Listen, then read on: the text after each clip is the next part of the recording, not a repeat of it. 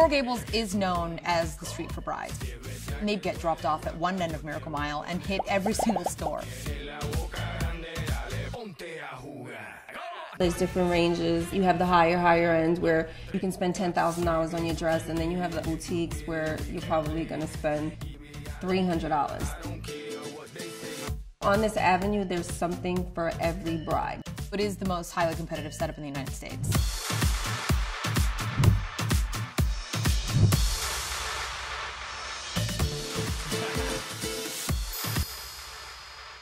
You always have competition.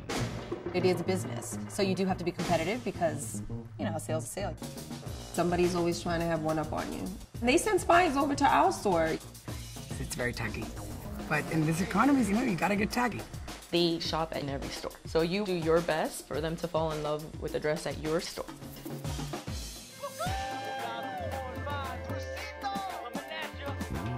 Miami's a pretty flashy place, and that's typically what Miami brides are flashy, and they want to be seen.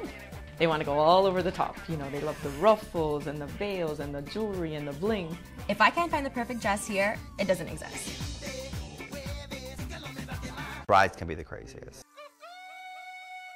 Crazy.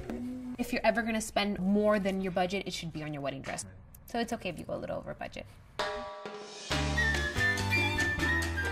Lourdes is a sales associate, and she's also our wedding coordinator. She's not just about the dress, she's about the entire event. Our approach with a bride is definitely different. We bring dresses one by one so that we can figure out what they're looking for. What do you think, Melia?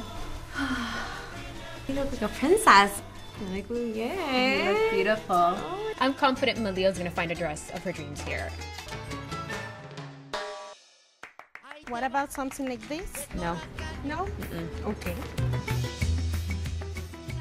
A bellissima bride is a girl who uh, believes in a marriage. Wow. This is the bling I was talking about. Like really bling, bling, bling, like this. We are Gabriela Arango Couture. Que lindo, I love that, Mom. My mom is a bridal designer. We're six sisters. I love my sisters. Mom, that's gorgeous. If you want, you could put it against me. I love working with them. I love fighting with them. I would wear that naked with no fabric under. I think I like it. She picked the one that I like. Last stop, Rene Ruiz. This is kind of a fantasy one. Somebody loved it. You want to try that one on? Hmm. Walking into Rene Ruiz was an experience. It's amazing. You'll die. Daniel was a character. It's a good day today. Let her try it on. She loves it. Daniel was made for the story. I think it's just a gift. It's gorgeous. They have to trust you. I think you have good taste. And if you want, if you lean over and you can take your girls and put them in the middle, and it gives you cleavage. Thank God for Danny. I think this is the one. Oh my God, congratulations.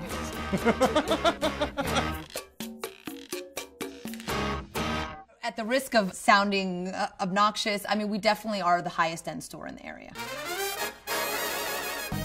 This is the best store on the block, hands down. We are the best on the mile by far. I don't want to be obnoxious or anything like that, but I think we're like really the best. Good job.